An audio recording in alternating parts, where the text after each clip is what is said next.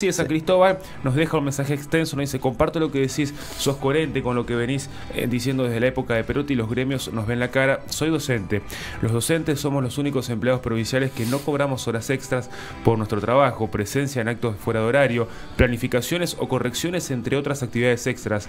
No me parece justo el, el descuento por un día de paro, ya que no, no se nos reconocen todas estas actividades. Seguro pensarás en aquellos que hacen abusos de licencias y de todo lo que el sistema permite por sus grises pero no somos todos. Como hay malos médicos, policías, periodistas, también la docencia tiene lo suyo, pero son minorías que a veces las estadísticas no reflejan la realidad y aparecen exageraciones. No, yo, Maxi, al revés, comparto plenamente lo que decís. Yo creo que eh, esta decisión del gobierno no es una decisión simpática y que no es una decisión que además eh, termine siendo del todo justa. Eh, lo dije en su momento cuando se tomó la decisión de implementar el premio. Eh, creo que las víctimas de todo esto terminan siendo los cumplidores, porque en definitiva eh, los cumplidores son los que mm, pasan desapercibidos. ahora, están por publicarse los números, pero el ausentismo bajó casi un 70%, casi un 70%, 66 y pico. O sea, el 66% de los que faltaban dejaron de faltar volvieron a dar clases. La pregunta es, ¿qué pasaba? ¿Qué pasaba? Y evidentemente había un nivel de, flexibilidad en, los niveles de controles y, en, eh, y además una, una, utilización casi sistemática de, la, de la falta de la presentación de certificado médico trucho. De, digo, porque ¿qué pasa? Y es creo que la discusión que nos debemos todos, eh, eh, no solamente los docentes, eh, nos lo debemos todos los, argentinos sobre actividades centrales o actividades este, importantes. primero creo que los docentes cobran mal, yo creo que, digamos, pero no cobran mal en Santa Fe, cobran mal en Santa Fe y en el resto del país. creo también que los docentes en muchos casos son injustamente castigados, pero al mismo tiempo creo que un docente y es lo que me parece que tenemos que empezar a discutir con, la seriedad y sin chicanas, eh, cumple una función tan extraordinaria y tan central en la vida, de, sobre todo de los pibes. Eh, ayer alguien me dijo, bueno, pero en redes sociales, alguien me dijo, bueno, pero ¿y por qué no, no, no tienen el, el mismo comportamiento? ¿Por qué eh, los médicos, los enfermeros y los, y los docentes cumplen la función de atender una urgencia, una inundación constante, un fuego constante, que es sostener la regularidad del aprendizaje de una persona, que además implica contención. Y el docente tiene que tener vocación y tiene que poner por encima de todas sus necesidades no hablo de las necesidades extremas, ¿eh? ah, por, encima de todas sus, quejas y por encima de todas sus este, de sus este, eh, nada de sus eh, insatisfacciones el hecho de que la escuela tiene que volver a ser un, asunto regular y que la relación alumno docente tiene que volver a ser un, asunto regular y que eso hay que priorizarlo y es cierto hay un 70% de los docentes que lo hacen que lo hacen pero hay un 30, un 35 que lo venía dejando de hacer y es un número que venía en crecimiento. Y yo creo, de verdad, que, mm, y esto más allá de las diferencias, que yo creo que de verdad los gremios han dejado de percibir, de mirar eso han dejado de mirar eso, han dejado de mirar que lo central es el proceso de aprendizaje y de, y de, y de, y de relación entre el alumno y el, docente. Y los que tuvimos la inmensa fortuna de pasar por una escuela pública en la que los docentes no faltaban, o en la que los docentes tenían una relación casi de cercanía y de, y de, y de estrechez con el alumno, sabemos que aprendimos mejor. Entonces hay que reconstruir todo eso y los docentes tienen que hacer un aporte grande en todo esto. Y a mí no me parece mal que se premie al que lo quiera hacer, eh, aunque me parece mal que se castigue al que no pueda hacerlo por diversas razones. Y también hay que discutir la edad de jubilación de los docentes, porque no, yo no aspiro a docentes que, que, eh, estén eh, con 65 años con chicos de 7 porque no tienen casi ni siquiera vínculo generacional, digamos, es como que te forme tu abuela. Eh, es así. Los docentes tienen que ser jóvenes, formados, activos, este, en calidad, bien pagados. Ahora, no lo vas a resolver con paros cada siete días. Eh, y lo de ayer fue una demostración. Yo creo que hasta el propio docente se cansó de parar. Eh, y, que, el gremio ya no tiene herramientas porque rompieron las herramientas, porque se han dejado de ocupar de los temas centrales. Eh, ayer yo dije al pasar y muchos se enojaron que Ansafé, por culpa de Ansafé, no se están haciendo los concursos de titularizaciones y, este, y ascensos. ¿Por qué? Porque tenían que nombrar Ansafé, tiene el monopolio el nombramiento de uno de los tres miembros de los jurados de oposición. Y Ansafé no los presentó. Entonces yo digo, la verdad, que a los tipos no les interesa titularizar, no les interesa la regularidad del... lo dicen por un lado, ¿eh? Dicen, no, nosotros queremos que titularicen, pero al mismo tiempo cuando les toca a ellos eh, ocuparse del tema, se corren. Del mismo modo, durante los cuatro años de Perotti hicieron que no hubiera concursos. Primero que la pandemia, después hicieron todo lo posible para que no hubiera concurso de ascenso, para que no hubiera titularizaciones. Entonces, digo, hay que discutir a fondo esto. Yo no me voy a poner en el lugar de que creo que los docentes tienen que cobrar cualquier cosa, que este, tienen que bancarse todo. Pero nos debemos un debate sobre la función que cumplimos cada uno. Si yo tuviese o, eh, tuviera eh, todos los días una inundación, o todos los días un incendio, o todos los días una tragedia este, humana, no faltaría la radio. ¿Me entendés? Digo, me parece que eh, tiene que ver con la vocación también. sí, por parte de lo. Perdón, por parte de. Lo, porque dijiste muchas cosas. De parte de. Mm, Independientemente de lo mal pago, de las malas condiciones, por parte de los sindicatos también lo que parece agotado eh, son los modos o los mecanismos de lucha. Eso me parece que está como medio caduco. Eh, yo recuerdo, no sé, en, partes de mi escuela primaria y secundaria, docentes en el aula haciendo medidas de lucha, enseñando a... A los japonés. Claro, enseñando a cómo estaban, por qué estaban parando, cuáles eran sus condiciones, nos contaban. Eh, ahora directamente no ir por ahí, me parece eso, que ha quedado como sin un ida y vuelta. Me da esa sensación. Pero además, eh, viste como hablábamos recién de los, de los discursos de Milei, digamos, que van, que van perdiendo impacto. Eh, los, paros, si vos, si vos haces 13 paros en 5 meses, va a perder impacto porque ya va generando mucho quilombo en la vida de los que. Agotaste la instancia, de, hecho. Mm.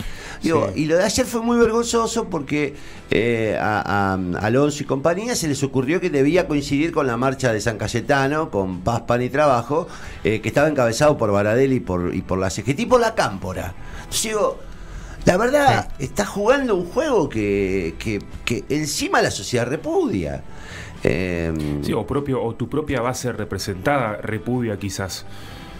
Porque claro. hoy, o no sé si hoy... O Yo no sé si, no llega a repudiar. Ahí em, lo, lo, que siento un poco es que el docente a diario tiene tantas tareas que a veces no sé si tiene tanto tiempo para ponerse a luchar. Lo digo, eso es un gran tema. Eso es un gran tema porque eh, todo lo que detallaba Maxi sucede. Vos estás a cargo de un montón de cosas extracurriculares, extra la hora y media que vas y das clases, que es un montón de tiempo que tenés dentro de la institución, fuera de la institución, y ni hablar si después, no sé, tenés otras obligaciones, familia, lo que fuere. Sí, eh, depende de qué escuela estás también, porque no es lo mismo una escuela en, Boulevard y Marcial Candiotti que ir a una escuela donde se está la Copa donde la situación socioeconómica es difícil y ahí también oficiás. Por eso, para mí no sé si pasa tanto por las ganas, porque no, no existe ese tiempo o esa energía, pero sí eh, no hay una representatividad. Me parece que pasa más por ahí. Si la persona el representante sindical o el dirigente sindical que, va a encabezar cierta medida de lucha no me representa, bueno, yo no sí, pero, no voy a no voy a no voy a acatar lo que él promulgue. ¿No te representa por sus ideas o porque no lo ves laburando a la par tuyo? O sea, si te viene a decir las Por un poco de todo, me parece que laborales son son espantosas, pero hace 15 años que no da clases. No, sí, también. rompe un poco la, la, sí, pierde, pierde, credibilidad. pierde la. De todas maneras, yo quiero dar un dato que lo, lo da chequeado.com, no lo da, eh, eh, digamos, eh, ¿cómo se llama?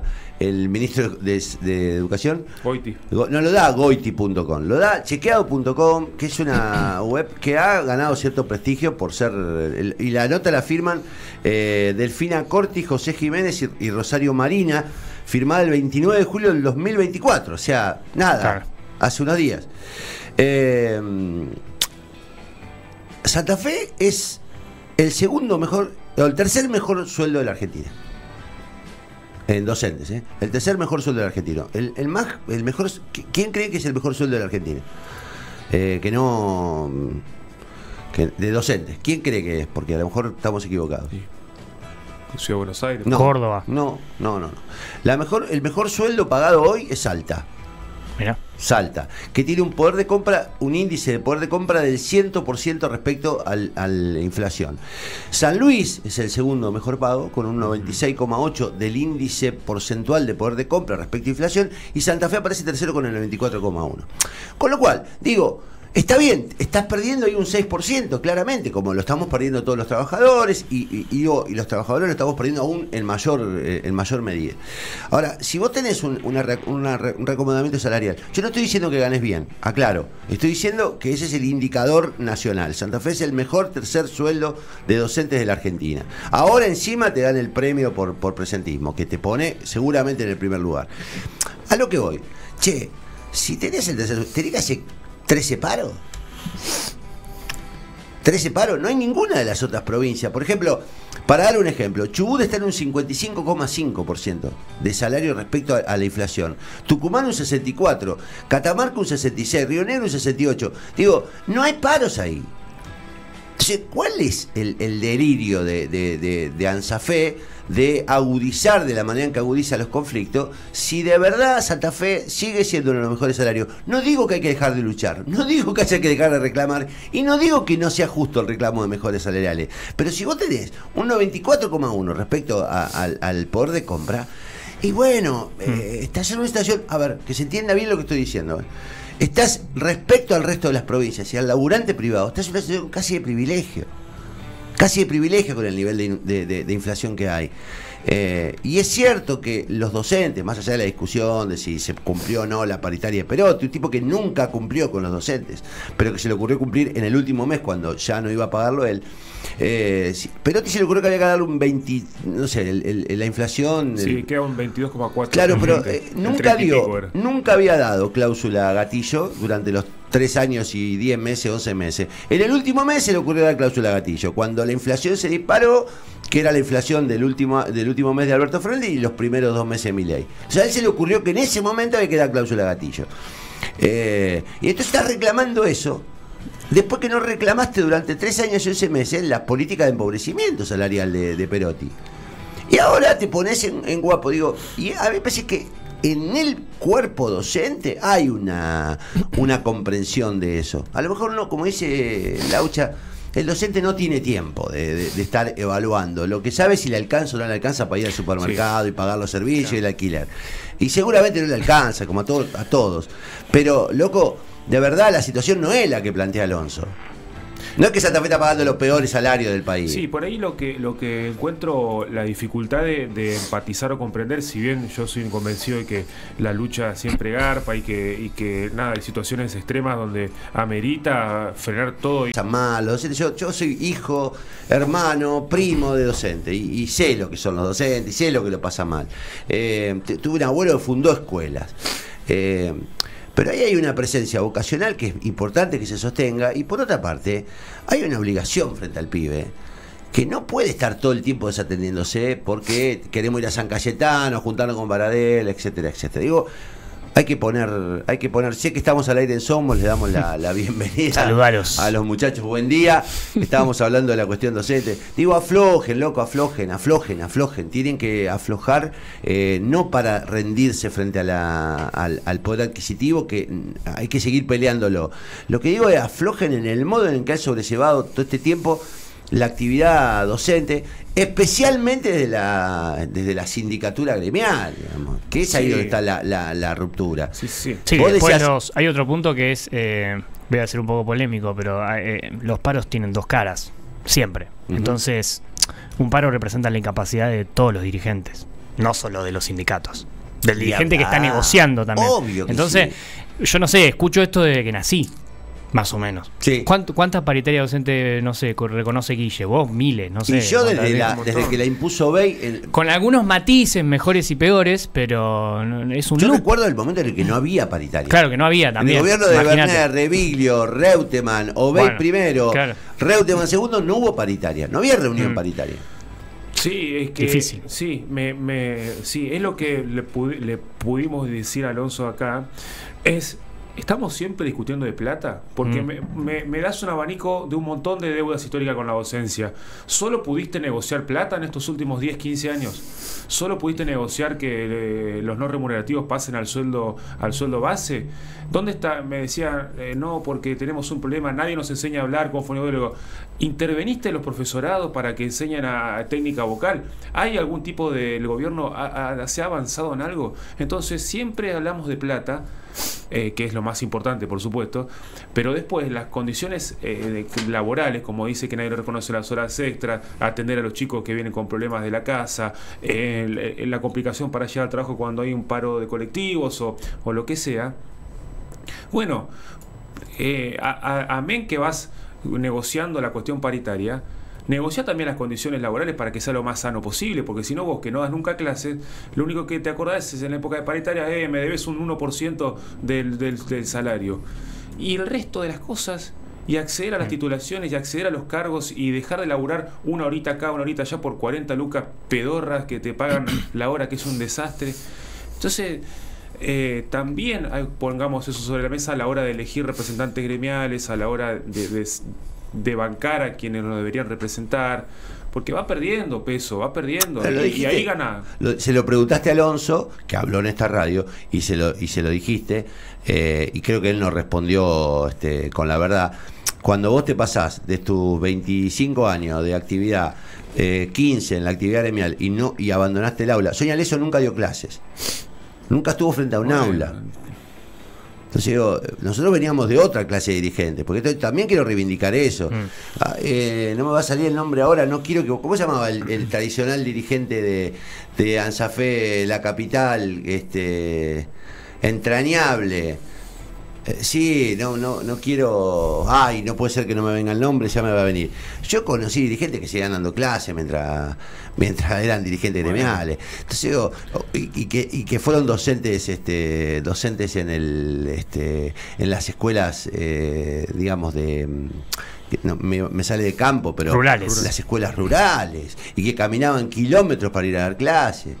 Eh, entonces digo, la verdad es que lo que se degradó también es la calidad del dirigente sindical. y la lucha sindical histórica era dentro de la fábrica, dentro del lugar de trabajo, dentro de las instalaciones. hoy. Dentro. a mí me parece que eh, no hay mal que por bien no venga, y mm. digo, eh, me parece que es un momento en el que estamos perdiendo un montón de cosas, pero también es una oportunidad para que empezamos a, empecemos a discutir cómo vamos a abordarlo nuestros reclamos y nuestros temas, sino de, otra manera, porque evidentemente hay un fracaso.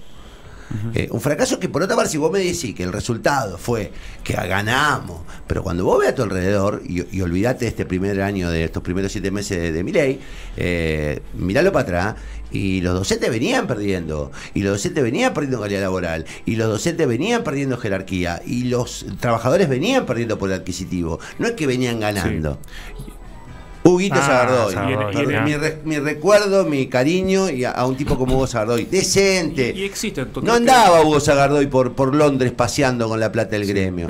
¿Viste? Digo, eso era eh, un dirigente sindical. Sí, yo creo que hay, hay ejemplos todavía. Eh, hay un montón, creo que debe ser la mayoría, pero bueno, los que tienen la cara son los que realizan esas acciones.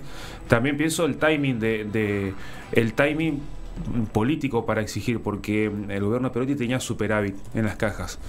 Eh, y, e igual perdió el salario estatal con, respecto a la inflación. Mm. Entonces, en un contexto de caída de, la recaudación, caída de la actividad, eh, quizá exigir, quiero el 22, quiero el 23, por más que te corresponda, no digo que no, por tu poder adquisitivo, como nos corresponde a todos, eh, quizás sea que, eso, de, atacar otras luchas para la mejora de, la cuestión laboral y cuando la recaudación se active, ahí sí.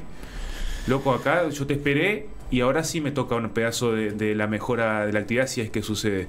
Eh, son cosas que se me ocurren plantear y está bueno también poder discutirlas y, y nada, ponerlas sobre la mesa porque... Muy lindo todo